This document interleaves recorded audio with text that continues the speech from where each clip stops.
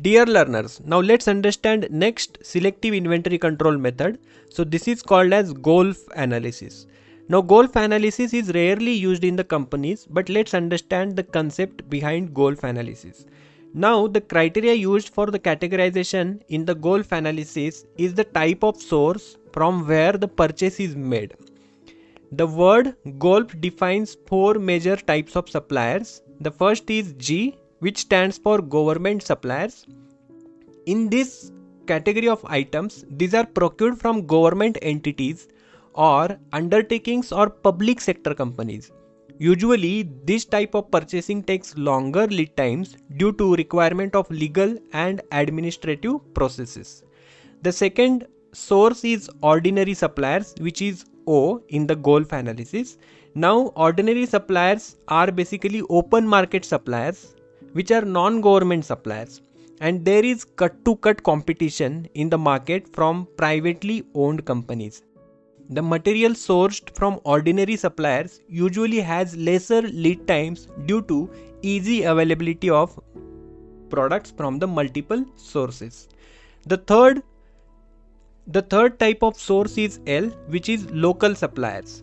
Now, these are the purchases which are made instantly from local suppliers, usually in the cash or in a blanket order transactions in the industry. The last type of source is a foreign suppliers. The items purchased are from the foreign suppliers and it usually involves many formalities including taxation, customs, incoterms and responsibilities of the buyers and sellers. Now let's understand some examples of GOLF analysis products. Now in G class category, it may include the products which are purchased from government entities like military equipments or some medical supplies or even some construction materials. In terms of O that is ordinary supplies, the ordinary items might include office supplies, food items and even clothes in the O class category.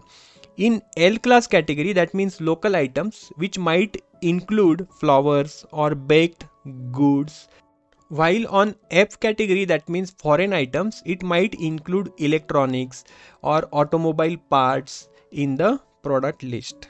Now GOLF analysis can be useful tool for inventory managers to identify and manage items that have different procurement and inventory management requirements. By understanding nature of different suppliers, managers can make better decision about how to source or stock or use these items. And this can help to improve the efficiency and effectiveness in the inventory